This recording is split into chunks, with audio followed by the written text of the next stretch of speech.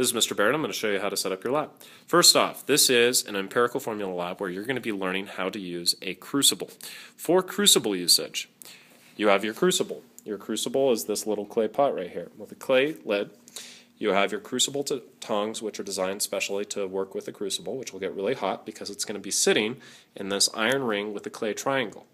And that's going to be above your Bunsen burner, where you are going to apply the heat source to do your reaction or do any heating within the crucible. My student assistant is going to help me here. What she's going to demonstrate is how to clean the crucible. So for the crucible, what you want to make sure is you use steel wool and you scrape really hard on the bottom of your crucible to try and get out as much gunk on the bottom as possible. All right, now take a look. You will never completely get all of the stuff out of the bottom. You're going to do your best, and there are procedures with how to clean it which require you to do some heating. Now my student assistant is going to demonstrate how to use crucible tongs.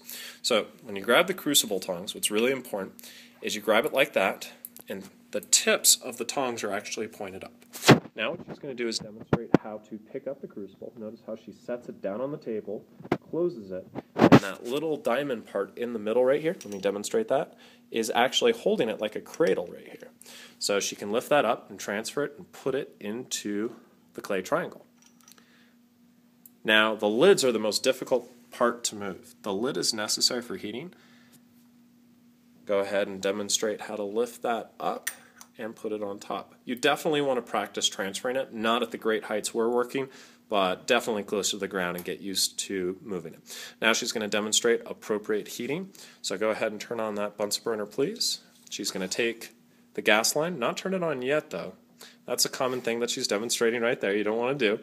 You want to light your match first, and I'm going to zoom in here so you can see how to light the match. Perfect. Go ahead and light it. Fantastic. Then she's slowly going to turn on the gas line until the Bunsen burner turns on. There we go. And then she can blow out the match. All right, so go ahead and turn up the Bunsen burner a little bit more, please. A little bit higher gas.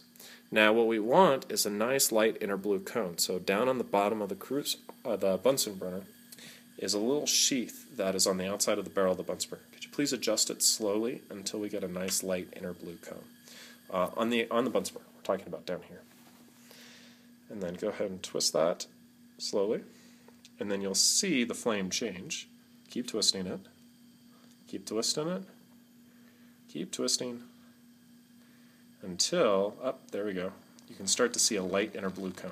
Now that's a little too much, so I'm going to show how to adjust it just right needs to be a little bit like, actually let's go ahead and crank up the heat a tad more and adjust the flame like this. Now you'll notice the flame is actually not touching the bottom of the crucible. This is a problem. If you don't want to heat during this lab, all you have to do is move the Bunsen burner and just touch it with the bottom. The bottom part down here will not get too hot. So what my student assistant is going to do is she's going to demonstrate how to lower the ring stand.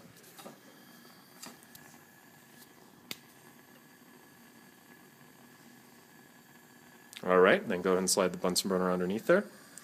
And what we're aiming for is we want the Bunsen burner to be touching lightly the bottom of the crucible. That looks good, and that's how you'll be doing the heating for the lab.